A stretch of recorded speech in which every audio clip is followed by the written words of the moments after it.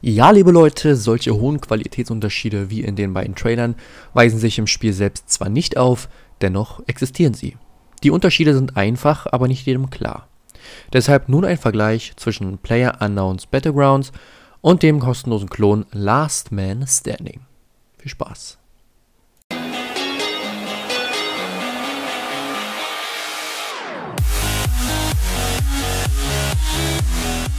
Dass Last Man Standing fast identisch wie PUB aussieht, dürfte niemandem entgangen sein. Nein, doch. Zum Spielsystem. Beides sind sogenannte Last Man Standing Shooter, bei dem sich der Spieler allein oder im Team möglichst schnell für den Kampf gegen andere gestrandete Spieler wappnen muss. Dabei sucht er sich Waffen, Ausrüstung und Schutzkleidung zusammen. Damit sich die Spieler in der großen Spielwelt nicht ewig suchen müssen, wird das Spielfeld periodisch verkleinert. Ziel des Spiels ist es, der letzte verbliebene Spieler zu sein, um ordentlich XP abzusagen. An manchen Stellen scheinen die Texturen von Last Man Standing sogar klarer zu wirken, als bei Player Unknowns Battlegrounds. Zudem läuft es überaus flüssig, dank der vielen Updates der Entwickler. Bei der Bewegungsanimation gibt es keinen klaren Sieger, beide ähneln sich so sehr, dass es kaum Unterschiede gibt.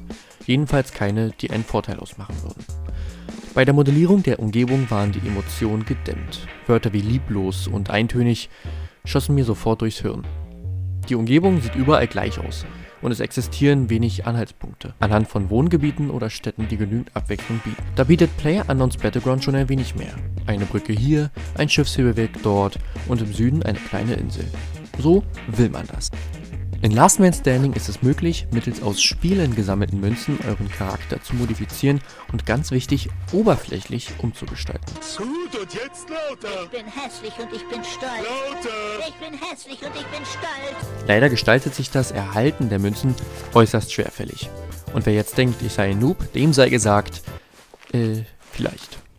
Nein, ich bin ein völlig durchschnittlicher Spieler mit keinen Ambitionen zu ESL zu gelangen. Dennoch bin ich keine völlige Pflaume.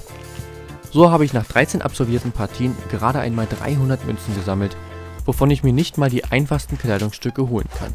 Natürlich lockt das den Spieler mit Echtgeld seinen Charakter so einzigartig wie nur möglich zu frisieren.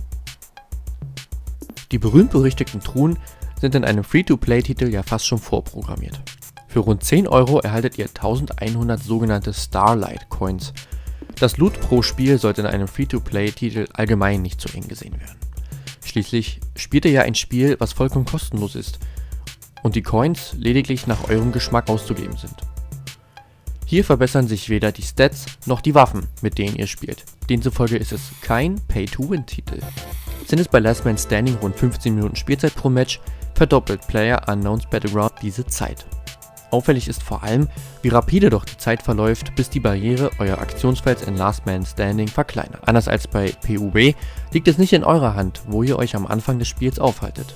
Das schränkt die individuelle Taktik des Spielers extrem ein. Entweder spawnt ihr zentral und findet einen Haufen Waffen, der vielleicht annähernd an die Stückzahl eines amerikanischen Bürgers ankratzt, oder ihr spawnt so weit außen, dass ihr nur das Mindeste mitnehmen könnt oder euch ständig weiter fortbewegen müsst, um nicht von der Barriere zerbrutzelt zu werden. Fortbewegungsmittel außer eure Beine gibt es schlichtweg einfach nicht. Somit habt ihr viel weniger Zeit, euch mit den ohnehin schon rar gedroppten Scopes, Westen, Waffen, Magazinerweiterung und ganzen Schilden vollzustopfen. Richtig gehört, Schilde. Binnen weniger Sekunden ist ein Überraschungsangriff aufgrund blitzartig aufgebauter Holz- oder Metallmauer dahin. Das ist auf der einen Seite schön für euch und auf der anderen Seite wiederum nicht.